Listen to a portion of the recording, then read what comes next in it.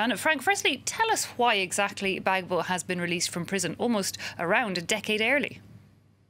Um, well, we think it's to diffuse the political tensions that are mounting here and as a show of um, political reconciliation in the country. Um, as, as you said, she's one of 800 political prisoners who were pardoned by President Ouattara um, just before Independence Day. And the president, when he when he did the pardoning, spoke of a commitment to peace and true reconciliation in the country. That's something he's been criticised for not doing so far.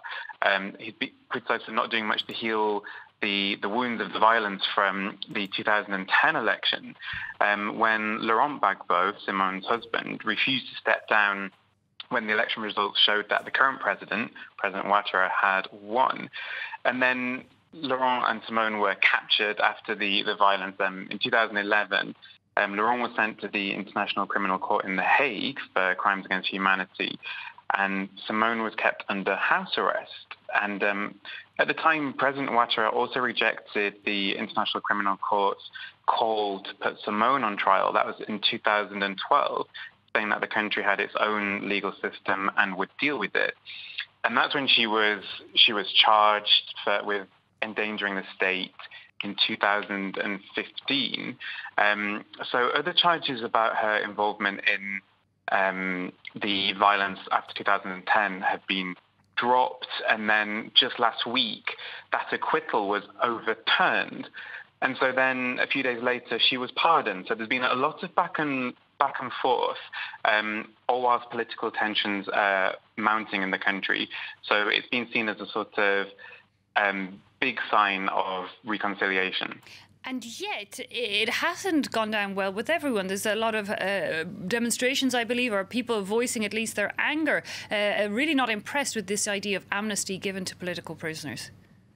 No, there has been um, mixed responses. Um, yes, they were having a very unanimous response, at least officially from the different political parties and people we spoke to here.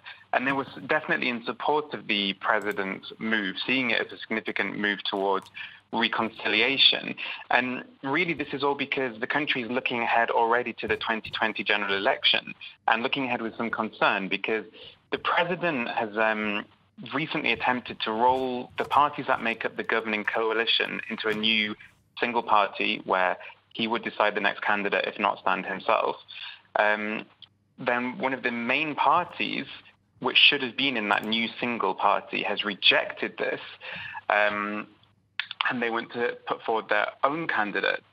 But this other party, the PDCI, they backed President Ouattara in previous elections, which had allowed the stability that the country's seen more recently.